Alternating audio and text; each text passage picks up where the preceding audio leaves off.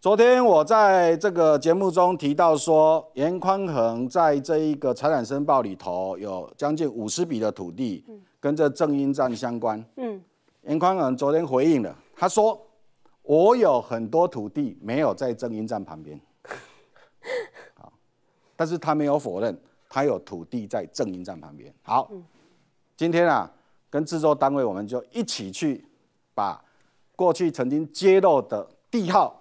一条一条给标起来，各位看这张图，正音站在这里，这一个，这一个，这一个，这一个，这一个，这条规条的是一条正音路。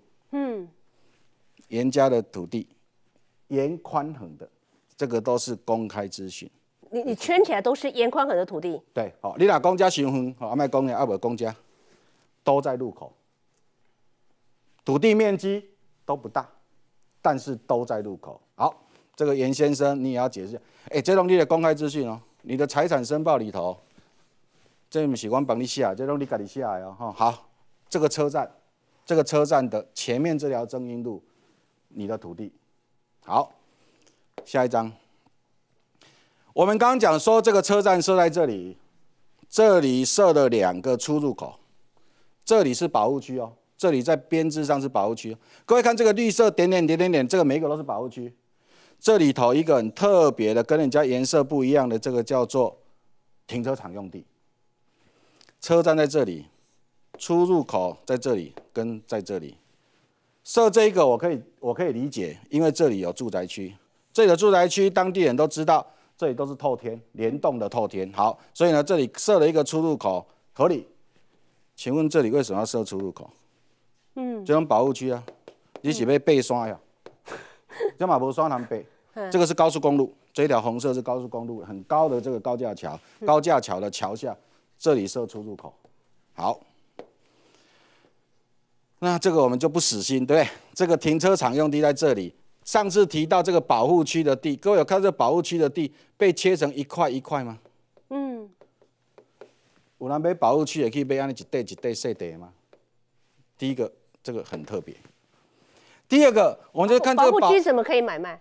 啊，这个当时是谁买卖，在什么时候买卖，这个还现在还查不到。哦，我们先看到这里。我们现在关心这一块停车场用地。昨天台中市的捷运工程处的处长有出来说，以后正音站设了之后，就是要利用停车场用地。昨天他接受访问，我们就看到，哎，停车场用地的加加加加的这几个地号。昨天就有人怀疑说这几个地号跟严家有没有关系？嗯，好，因为这个卢市长是学地震的，这些系统卢市长应该也都查过。刚刚讲的有两笔二五二二九，我们就去查了。哎，这嘛公开资讯，给他啊，这公开资讯了。好来，各位看哦，拍卖盐圈圈，嗯。严圈圈呢，没办法确定是严家，对不对？就只确定他姓严，不一定是严家。对，不好意思哦，正义路一号，清楚了吧？沙鹿区铺子里十六零正义路一号，哇，好熟悉的，他的服务处，服务处，他的服务处，边有一栋法拍，对，头前围起来。那上次开记者会的现场，法拍成功，你哪边去经你要注意哦，因为边啊交有人交服务处。对。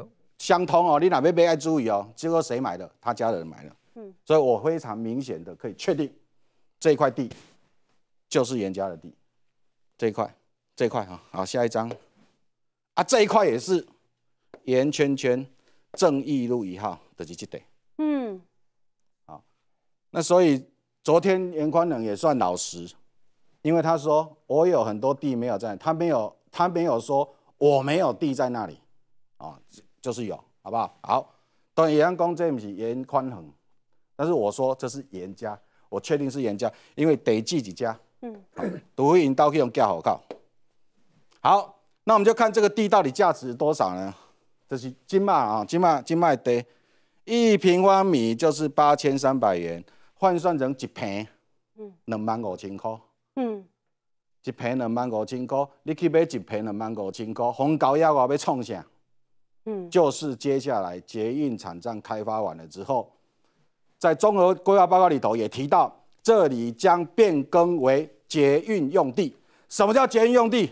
捷运用地未来可以做场站开发，可以做联合开发，一旦交起建筑起来公分，大家一起分楼地板面积。嗯，从原来没有人要的停车场，摇身一变，可能变成一个叫做捷运车站。捷运车站的联合开发，捷运车站联合开发上面的使用，你知道吧？台北京站，台北非常多的场站都是捷运用地做联合开发。好，我哪我我嘛想袂到，讲我去买这个地啊，迄车经过的是空地啊边啊拢树呐，我去买这个创啥？是好，大概这个是呃，今天跟各位谈就是这个部分呢，就是他去改了车站。嗯。那改了车站呢？我们回到这这一章，呃，我们今天在整严先生在正义站、正英站沿线的这个土地，这张图放在一卢秘书的面前，跟卢秘书讲说：“头家叫我把这张图给你看，安尼你看有无？”卢秘书能说什么？我们都配合。卢秘书在这一个选完还没就职之前，跑去严家，他说了一句话，他说：“我们都配合，嗯，车站都配合，沙鹿大庄园外面的水里社街、水里社路、波点阿嘎，嗯，这护栏，我们都配合，要去查违建，查八一七，查沙鹿大庄园。”市政府绝对不派员我们都配合。卢秘书严市长我们都配合。这就是现在的台中市政府。